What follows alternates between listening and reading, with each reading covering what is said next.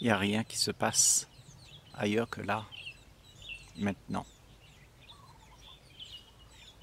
Maintenant, c'est là où la vie coule. Elle ne peut pas se produire ailleurs que maintenant.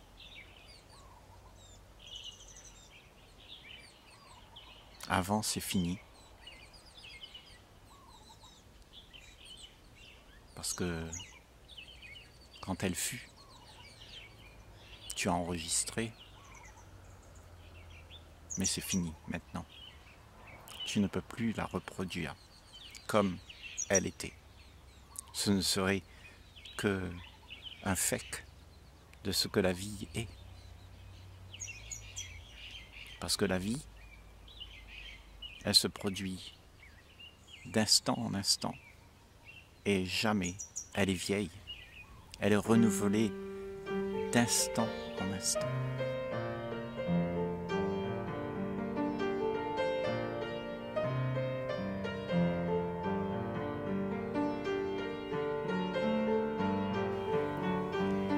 Elle n'appartient pas au passé, ni au futur, ni à l'espoir. Tous les espoirs que tu peux te donner, ce sont des illusions. Tout se passe là. Ça, c'est quelque chose qu'on a tendance à oublier au fil de la journée. Parce que on se projette, on a des intentions, on a des projets. Et en fait, demain, ça devient important parce que tu te projettes. Mais demain n'est pas un vécu, c'est une mémoire que tu projettes et elle crée en toi une image de ce que tu aimerais avoir. Mais la vie, elle n'est pas une image. La vie, elle se meut là et elle ne peut pas être autre chose que ce qu'elle est. Elle ne peut pas être mise en boîte parce que son courant est éternel.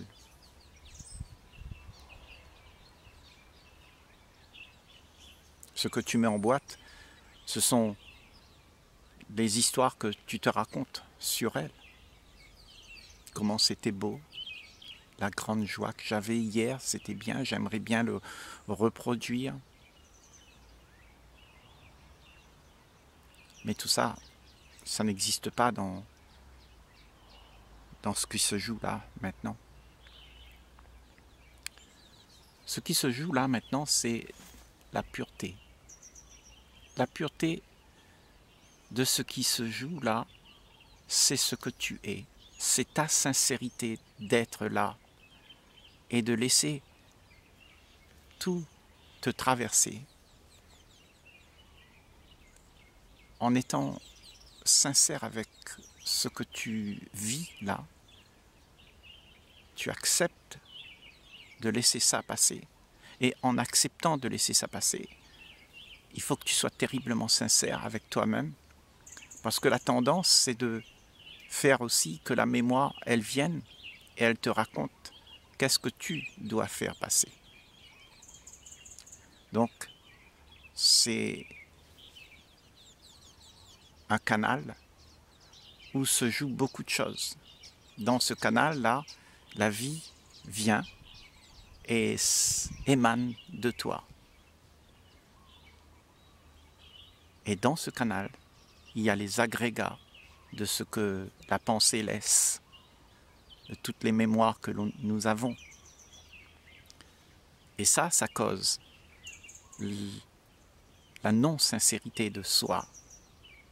Parce que tu t'es identifié aux pensées et les pensées te dictent qu'est-ce qui doit émaner.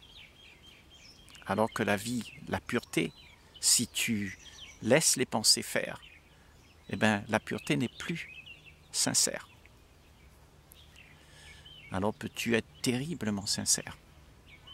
Et pour faire ça, pour être terriblement sincère, il faut que tu sois vide.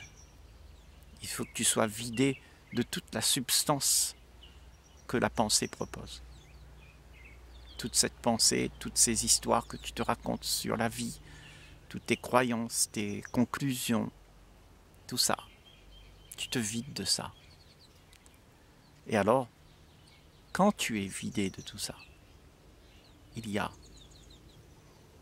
cette sincérité qui est la vie pure. C'est de la pureté de ce que tu es qui coule. Et dans cette sincérité, il y a une action juste.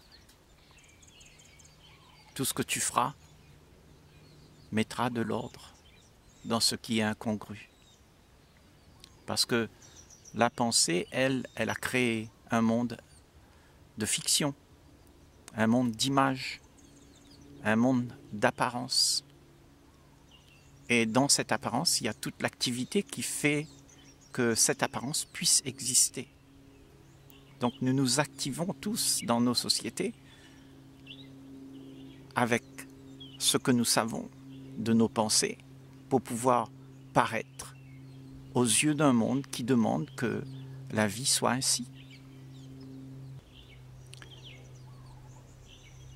Et comme on le disait, la vie n'est pas ce que tu penses. La vie n'est pas une restitution de tout ce que tu as vécu, de toute la mémoire. Tu ne peux pas la rejouer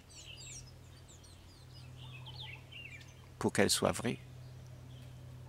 Tu peux la rejouer, mais alors tu vivras une illusion. Tu seras absent, c'est-à-dire cette sincérité sera absente et tu vas vivre l'illusion et tu vas te faire croire que ce que tu es, c'est ça. Et à ce moment-là, tu n'es pas sincère avec cette vérité que tu es toi-même. Cette réalité qui est là, qui coule. Cette vie, elle doit être pure pour qu'elle soit authentique, vraie, C'est ce qui donne la possibilité à toi de vivre cette vie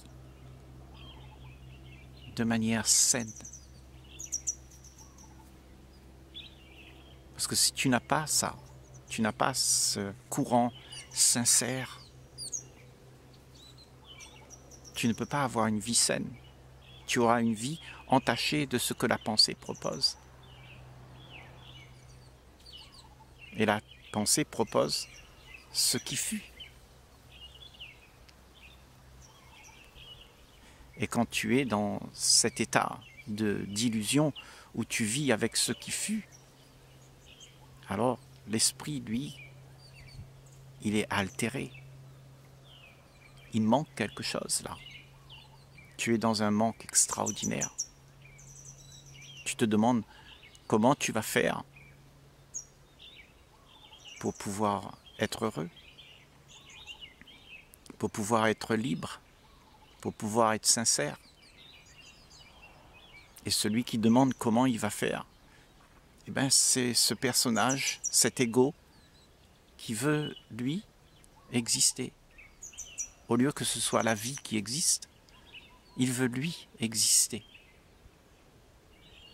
Donc, il y a cette fausseté de soi où la sincérité est partie.